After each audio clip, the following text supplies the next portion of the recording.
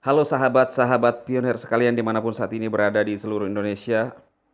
Senang kembali berjumpa dengan teman-teman di saat ini ya.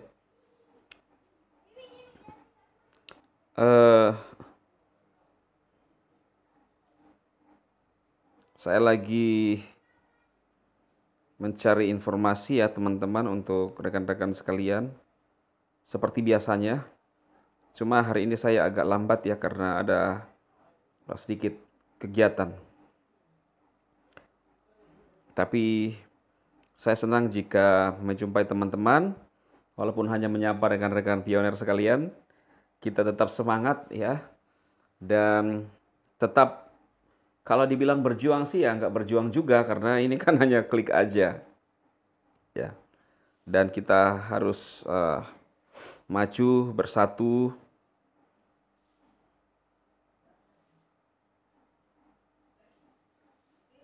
mewujudkan impian-impian kita, teman-teman. Nah, ada informasi-informasi, misalnya, uh, ya ada beberapa ya. Ini ada caption, Bang Nicholas ya.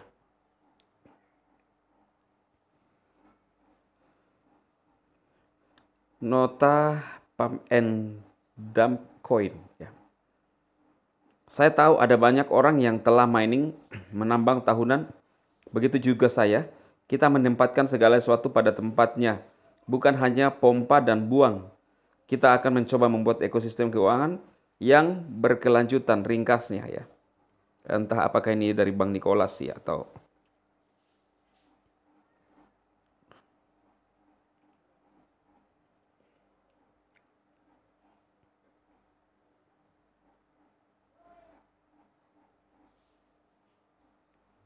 Maaf nih, mau nanya kira-kira Mbak Berli mau nggak dijadikan perantara penukaran pi dengan uang fiat di Cina?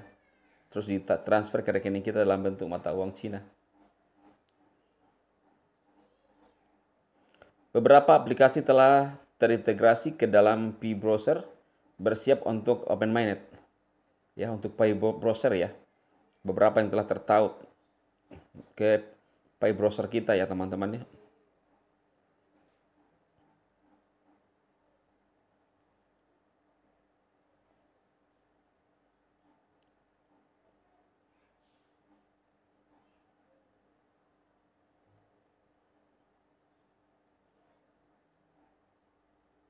Yang disebut open-minded full seluruh negara-negara di kawasan Asia Afrika setelah terdata negara mana saja yang telah siap menjadi pusat distributor.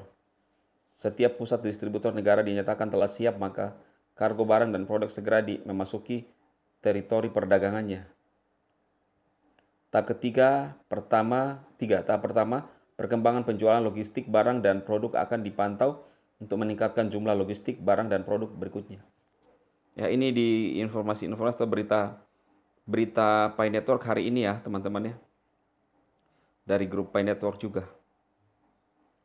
Saya rasa ini saja yang saya informasikan, belum ada informasi signifikan bagi rekan-rekan sekalian, tetapi minimal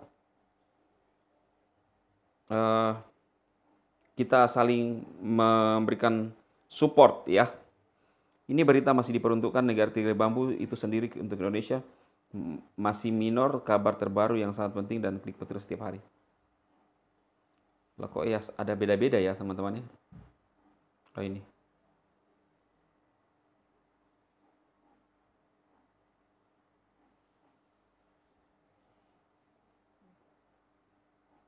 Ini ada video ya.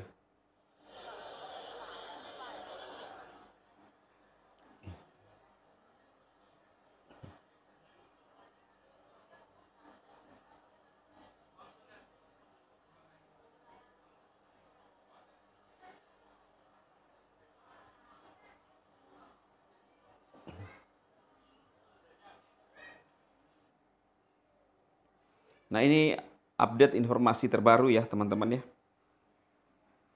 Apa sih uh, terjemahannya? Yang tadi saat ini berita sedang berkibar di langit, paham sendiri. Nomor satu adalah pengumuman pendirian bursa di Beijing pada hari Tahun baru kakak keempat dari ipar perempuan keempat muncul di CCTV. Setelah tanggal 3 panggilan undangan besar-besaran. Setelah tanggal 4 dan 9 akan ada dua tiket masuk super ekologis dan mal mall akan menunjukkan fungsinya.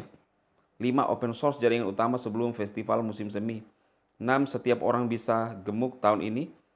7 pemetaan migrasi kolektif dinasti langit. 8 lepaskan dinding dan lepaskan tangga setelah 400 jam. Nah ini informasi ya terbaru ya teman-teman ya dari Beijing ya tentunya ada kaitannya juga untuk kita para pionir Indonesia ya. Oke saya rasa itu saja salam sukses bagi teman-teman tidak usah peduli haters ya. Eh lato-lato saya hari ini belum bisa ya teman-teman ya proses ya sampai bisa. Oke salam sukses dan semangat bagi teman-teman sekalian.